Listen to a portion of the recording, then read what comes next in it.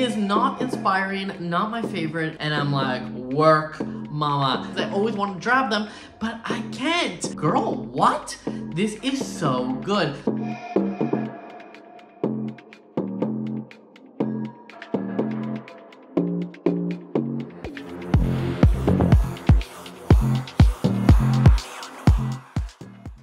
Hello, my beautiful light brights. For those of you who do not know me, my name is Neon Noire. I'm a half Italian, half Canadian drag queen, and I am the brightest crayon in the box. Y'all, if you're new here, or if you haven't already done so, go ahead and hit that subscribe button. I have been heard that some people have been desubscribing from me, and I'm like, girl, why? So, do me a favor and make sure to check if you are indeed still subscribed. With that aside, let's get into it. It has been a minute since I've gotten in drag and started to talk to you about Drag Race. So it is time to play my favorite game. That is right, we are playing Fab or Drab, where we rate the looks of Drag Race France Season 3, Episode 1, and let you know which looks are fab and fabulous and which ones are drab and awful. And make sure to stay tuned all the way to the end where I let you know who had my fabs and drabs of the week. Girl, we got a new season of Drag Race. We got Drag Race France, which honestly is kind of one of my favorite international seasons. So I'm really excited that we are getting started, especially since we're having like a lukewarm All Stars 9. I know, controversial opinion, right? But we got 10 new queens and we got a lot to talk about. We are gonna be talking about their entrance looks and of course we are gonna be talking about their runway looks. So buckle up, this is gonna be a little bit of a longer episode and I am so excited. So, without further ado, let's find out who shined bright and who faded into obscurity. First, we're gonna be looking at their entrance looks, and I like the entrance looks because this is our first taste of who these queens are. This is not a challenge, so they can really give their own personality onto it. So I'm always excited to see how these queens want to introduce themselves. So, first up, we have Misty Phoenix. And Misty Phoenix is coming out in these black pants with this black thong detailing. She's got this black top with this black headdress. On top of it, she's paired it with this tall ponytail, and she's definitely giving you that like biker girl gang. I think this is a really interesting look. Now, I do not know the queens, so I am going by what they're showing, but comparative to what she gave us on her promo look, which I did a video on that, and if you haven't, go ahead and watch that one as well. She is giving you something completely different, and this is what really surprised me because I first got introduced to her through the promo, and then she's coming out with this, which is a little bit more hard edge, a little bit more hardcore, and I'm loving this side of her. It is really giving you that sort of that duality. On top of it, she's giving you sex, but like in the good way, because it is not super provocative, but it is just provocative enough that it makes you just like tingle a little bit. You know what I mean? Now, the other thing that kind of threw me off is actually the nails. She went with green nails, and I was a little bit confused because there's no green on her. I wish had she done the green nails, she would have done a green ponytail to really match something together. I think that would have been my only little adjustment had I given anything. But is this a bad look? No, it's not. It's actually a pretty good look. It's also a pretty strong start, especially since the entrance look isn't even rated. All in all, it is good enough to get a 5. Next up, it's Le Filip, and Le Filip is coming out in this like sort of teal turquoise bodysuit that is uh, glittering all over. She's paired it with blonde hair, this white boa, and these open-toed shoes. Now, she goes on to say that she is actually the comedy queen of the season, and this actually surprised me because usually comedy queens come out with more like campier fashion, and I thought this was a pretty good outfit. I didn't necessarily get comedy or camp from it. I actually got good fashion. But then again, we are talking about Drag Race France, and Drag Race France has always been one of those seasons that has really good fashion. So even if you are a comedy queen, apparently this is the caliber that you should be striving for. Now, let's get into the outfit. The first thing I will say is that I was immediately thrown off by the fact that you can see her boy nipples, and that really bothered me. Now, I'm not saying that every queen needs to be wearing a breastplate. I'm not wearing a breastplate right now. You can totally get away with it, but with such a low cut top like that, I think boobies would have really made the difference. And if you really weren't gonna do boobies, at least do like a bra or something to give you a little bit of shape. I feel like it is just a little bit too open and I really, really hate seeing boy nipples. It's one of my pet peeves. But the rest of the look has this like little bit of an old school a glamour to it, which I kind of appreciate, hence the fur and the blonde hair. I feel like those really work well together. The part that then throws me off is the pairing of the shoe. Now, I don't mind that she went with a white shoe, but if she was gonna go with a white shoe, I think it should have definitely been a closed shoe, maybe just like a classic stiletto, just to give you more of that classic old school vibe. That being said, I think I actually would have preferred it even better had this been all in turquoise with the same fabric and just elongated her leg to really make it feel like all one connection. And then we get to her face. Her face is beautiful. We can say that she knows how to paint and I'm not gonna like criticize her on that. The part that I am a little bit iffy on is the white eyebrows. I feel like there's not enough dark in her eyes. I think she should have done either like a bigger eyelash or just done some darker eyebrows. And I think that would have just taken it up a notch. All in all, there it's not a bad look but obviously there are some things that I probably would have changed. Nevertheless, it is still good enough to get a soft. Next up, it's Afrodite Amour, and Afrodite Amour is coming out in this sort of like purple uh, violet two-piece suit with this fan and this blonde hair. She goes on to say that she has been doing drag for one year. And I'm like, girl, I am jealous. First of all, I did not look like that when I was doing drag for one year. But more importantly, she got on Drag Race calls. If you've been getting on Drag Race when you've been only doing drag for one year, I first just have to applaud you. But let's get into this garment. And I think to myself, you can tell that she's been doing drag for one year. I say this not because the outfit is bad. Actually, you can see that she probably spent some decent money on it. It looks well constructed and well put together. The only thing that's throwing me off is the grandmother or mother vibes of this whole thing. I'm like, this is definitely not giving you personality. It is definitely not giving you a vibe. And It is definitely not giving you youthful. But she's not trying to do that like old lady thing like someone like Sarah Jean does, who is like a young person trying to do old. This just feels like she's falling into this old category because she doesn't know what she's doing. I just think that it really could have taken it up a notch. She then goes and uh, pulls out this fan, and this fan is just like a regular sized fan. Girl, when do we ever use a regular size fan? First of all, we usually use the drag fans, which are like double the size, but this is an entrance look. If you're gonna pull out a fan, it should be even three times the size. Like, make it a moment, make it a thing. This just feels teeny weeny in her manly hands. All in all, it is not inspiring, not my favorite, and therefore definitely gonna be a drab. Next up, it's Perseo, and Perseo is coming out with this blue glittery top, this blue headdress, this blue skirt, and the tallest blue heels I have ever seen. When I saw her on the promo look, I said, ooh, this bitch is giving a very Gran Canaria drag, and then she comes out with this, and I'm like, this makes sense, she's giving the same Gran Canaria drag, and then we find out that she is indeed from Gran Canaria, and I was like, this all makes sense. So for those of you who do not know, drag does differ from country to country. For example, in France, they are really known for chic elegance and very fashion, while in Gran Canaria, they are known for these tall heels and no wigs. Usually wearing headdresses and almost wearing like almost no clothing. The reason for this is it's just their style of drag, but also because it's so hot there that you really can't wear that many clothes.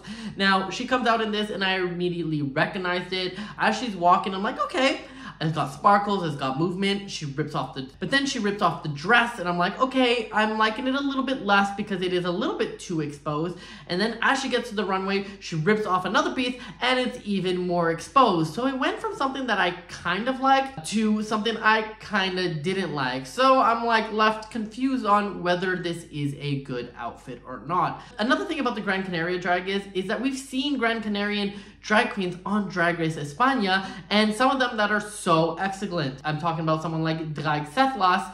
So she has a high bar to compete with. And the thing is, this doesn't necessarily compete. Is it bad? No. I am glad that it is getting a new audience in France because not everybody watches Spain or knows Spanish drag. So I like that it's getting a new platform, but I'm just wondering if she is the one to give it. All in all, because it went from kind of cool look to a kind of nothing look, like literally she's wearing nothing. I definitely don't think that this is draggy enough for me, and therefore I am gonna go ahead and give it a drab. Next up, we have Leona Winter, and Leona Winter is coming out in this what looks like a giant snowball. She's got this fur jacket, she's all covered up, and you just see the hair. And already I'm like, this is a good bitch, just because that hair is amazing. It is so perfectly and coiffed it. As she walks down the runway, she opens up her snowball thing, and a giant gown comes on with just a little bit of snow on the shoulders, playing into her winter name. And I'm like, work mama. Now this is good drag and she knows it too. So she was wearing this a giant purple dress which is like inch to her waist. You can see that she got a tailor to make this and a good one at that. Even the little snow on her shoulders is not just regular snow, it's a little bit of ostrich feather with a little bit of rhinestones and honestly this thing looks expensive. This is the type of drag I came to Drag Race France for. This is what I'm expecting and I'm loving every minute of it. This is definitely gonna be a fab.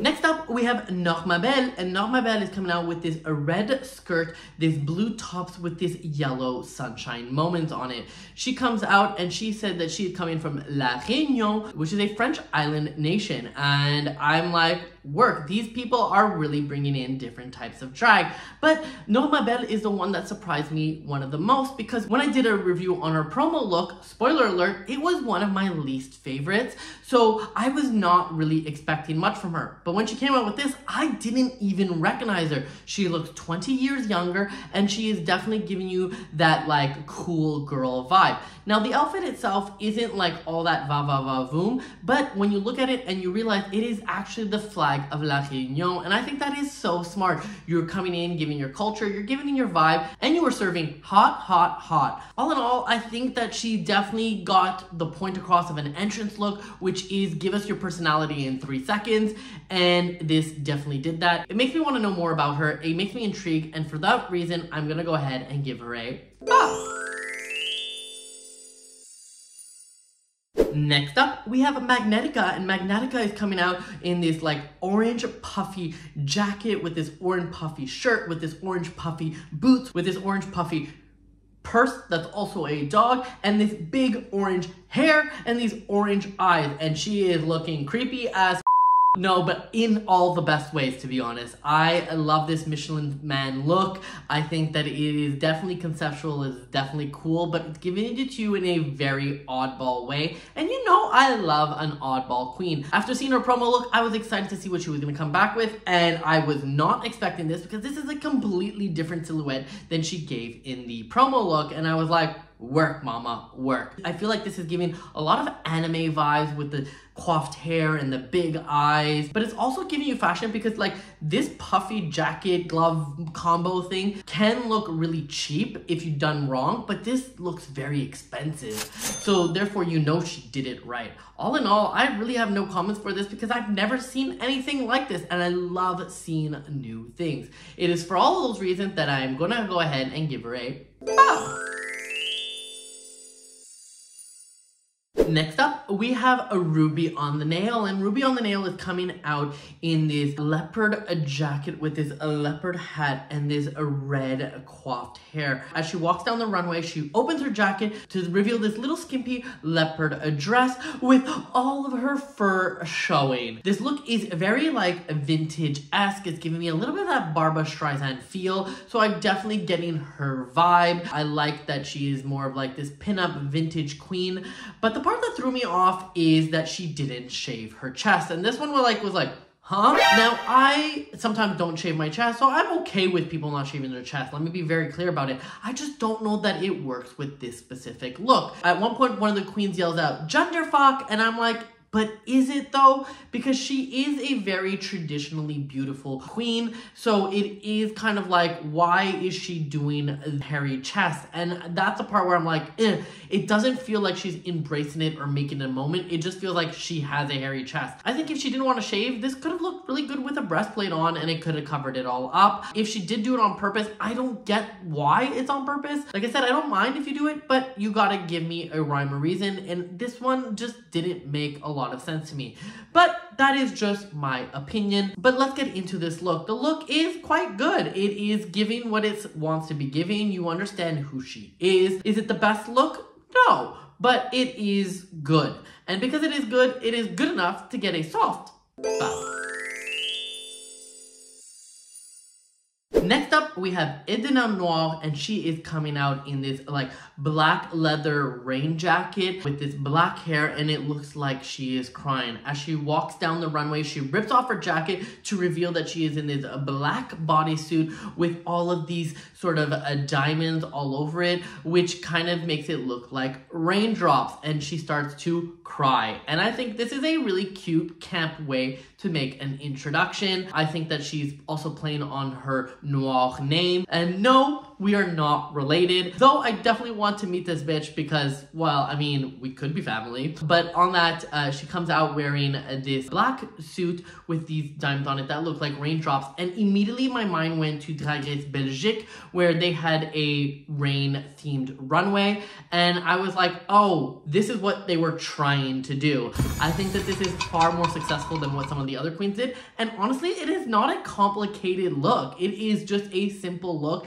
that is just done very well. She took a concept and she ran with it. She got it from the makeup to the hair to the jacket to all of the little crystals. I think that this is one smart bitch and I can't wait to see what she has to hold. All in all, it is definitely going to be a wow.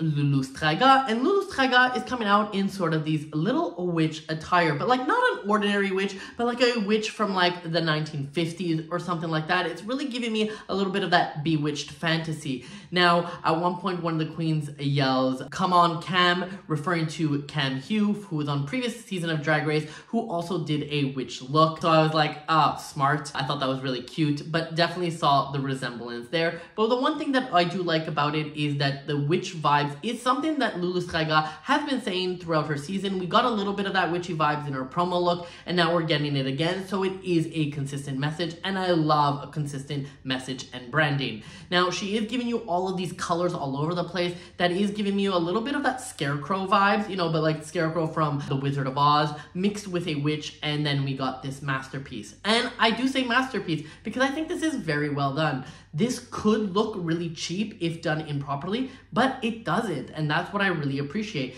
You can see that she thought about it. You can see the cut fits well. You can see that it is all put together. And it definitely takes a specific eye to do this. I don't know how long she's been doing drag, but she is doing good drag. All in all, I'm kind of loving this. And that is why she's getting a.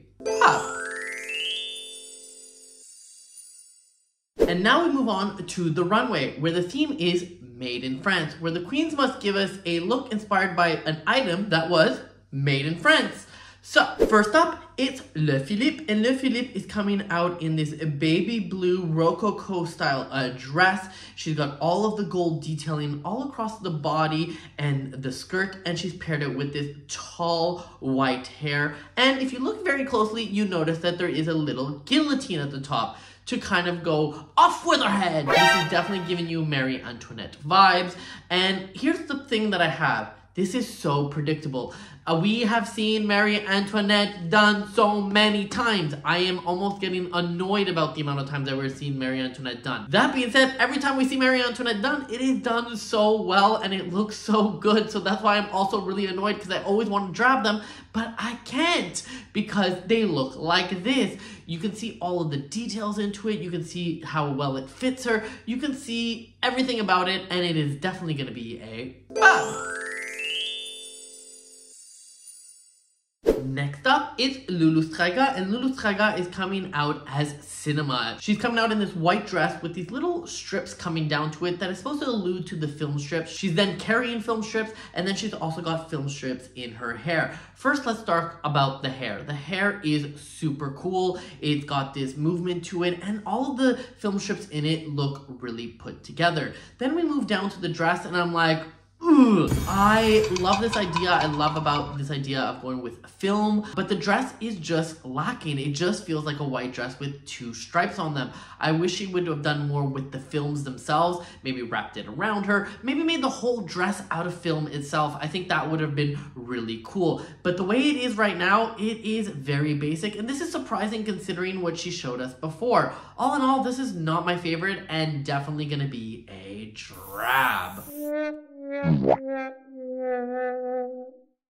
Next up, it's Afrodite Amour, and Afrodite Amour is coming out as clementines. She said that they grow in the country, so therefore she is coming out in this garment. Now, I was shocked by this garment because Afrodite Amour has always given me some of the worst looks, but then she comes out with this one. I was a little bit shocked with this outfit because this one came out of total left field. First of all, I didn't immediately think of France and the Clementine. I didn't expect this from Afrodite. Afrodite, on her promo look, I gave her a drab. On her entrance look, I gave her a drab. And even though we didn't rate the challenge looks, it was questionable at best. So I was fully coming into this being like, what is this bitch gonna give us? And then she comes out with this, and I'm like, girl, what? This is so good. I love the camp factor of it, but it's also done in this sort of elegant way. The texture that's in the garment is super, super cool. All in all, I think this is very well done and even more well done knowing that it's coming from her. The only thing that I would have changed if it was me is the hair. I find that the hair has nothing to do with the garment. I wish she would have done it maybe like a stem, you know, to go with the little stem of the orange, or if she didn't want to do it to go in that campy look, if she just did like some orange hair just to really pull down the look. This hair just feels a little bit like big, blonde, and random to me. Does this hair look good on her? Yes. Does it give her right proportions? Yes. But I just don't think that it works with this specific outfit, in my opinion. All in all, the only thing I'm criticizing is her hair, so therefore she is definitely gonna get a five. Next up, it's Ruby on the Nail, and Ruby on the Nail is doing a pen. She is coming out in this half white, half blue look with this gradient going down her body. She's got this like plastic jacket over her because she said that the pen that she is going for is like a crystal pen, and she's topped it with this big blue hair that's giving you a little bit of Marge Simpson, but it's actually supposed to be the pen cap. And I'm thinking to myself, this is super cute and so original. I would have never thought about going in this direction. If you went in this direction, sometimes you could have went a little bit too camp and a little bit too cheesy with it, but she didn't. She did keep the fashion into it, which I think is really smart. As she walks down the runway, she lifts off her hair to reveal the top of the pen cap and that her hair is actually the cap itself. And I was like, oh my god, that is such a little cute detail. That would have been such a gaggy reveal had she done that in a bar or in a club. So the idea is awesome. It's got a lot of cute details. When you actually look at the garment itself, it's a little bit plain to me. It is just like a simple jumpsuit that is faded. I wish there was a little bit more to it, but it does give the impact that it needs to on stage, and it is a cool creative concept. So for all of those reasons, it is still gonna get a!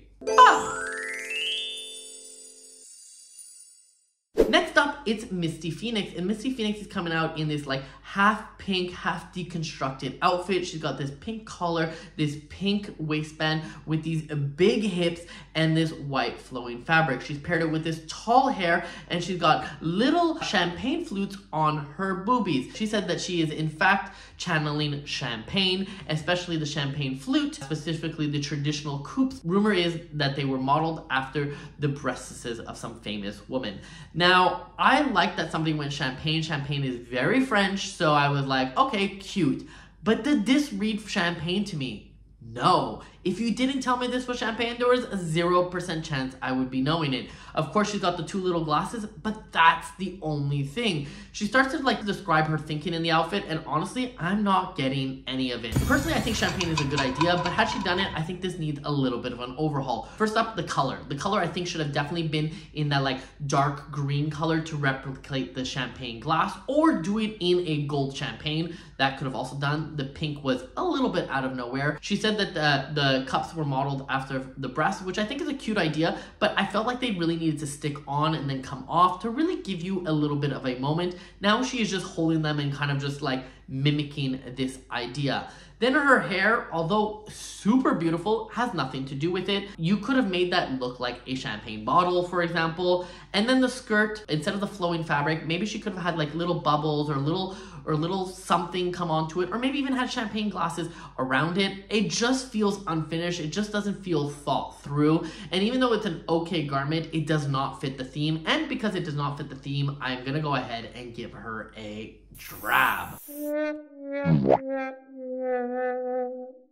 Next up, it's Magnetica, and Magnetica is coming out as perfume. She said that she is the perfume bottle. She's coming out in this a pink ensemble with this blue hair that has this giant like egg thing on top of it, which is supposed to represent the little like boop boop little pusher thing that sprays out the perfume. Now, her body is shaped uh, in a perfume bottle with the exaggerated hips. I think perfume is yet another really great example of what to do in this runway. And I think that the way Magnetica did it is super smart because you definitely understood it. It definitely looks unique and it definitely looks a little bit avant-garde. Now, when you start to stare at it, you realize that there's actually not that much going on and I wish there was a little bit more. But from an initial reaction and just looking at it on the runway, when I first saw it, I was like, ooh, love it. And then as I started to look at it more and more, I realized that some of the details were missing, and that's kind of where I was just like, mm. That being said, this is a runway moment and a moment she gave us, and because of that reason, she's definitely getting a ah. Next up, it's Perseo, and Perseo is coming out in this dress that is made up of what looks like cards and this giant headpiece. She goes on to explain that these are not in fact cards, but they are in fact braille. Now here's where I'm like a little bit iffy about it because I initially thought they were playing cards and I was like, did the French invent playing cards? But uh, she said no, that they are braille and that's why she did that. And braille is a really unique concept, so I love that she went in this direction. The thing about Perseo is Perseo doesn't wear a lot of clothes, so the little items that she is wearing need to be perfect. And when I look at these, they aren't perfect. One of the things about Braille specifically is that it is tactile. It's got little bumps up and down, and she's made this out of like I wish it had little bumps. I wish there was a little bit more texture into it. I think that would have looked really cool. On top of it, she's paired it with this headpiece and she's doing these headpiece because she doesn't wear hair and she does headpieces, which I'm totally fine with. But this headpiece just doesn't match with the uh, outfit itself. I wish had she done this, she maybe would have done like an open book to kind of give you an idea of what she is actually talking about for those laymen like me. And then she's got her giant heels, which were kind of becoming her signature. But again, I wish it would have brought that braille into it. Perhaps maybe made it look like she was walking on top of stacks of books. I think that would have been really cute and camp. It didn't do any of that. And because it didn't do any of that, I'm gonna go ahead and give her a drab. Next up is Norma Bell, and Norma Bell is coming out in this black little dress with this black hairdo and this giant flower on her. Initially, I have no idea what she's supposed to be, but she goes on to explain that she is in fact vanilla because vanilla comes from La Réunion and therefore was brought to France from there. And I thought, smart because she's now tapping into her culture, into her brand. She did that on her entrance. She was talking about La Réunion. Now she's on her runway and she's also talking about La Réunion. So it is a consistent message, which is called branding. On top of it, she's giving us a completely different look. She is coming out in this very like vintage, old school glamour and glamour she is giving you. Yes, she's got this big flower on her, but the flower doesn't overtake her. You can still see her beauty and you definitely get the vibe she was going for. All in all, she looks exquisite and therefore getting a ah.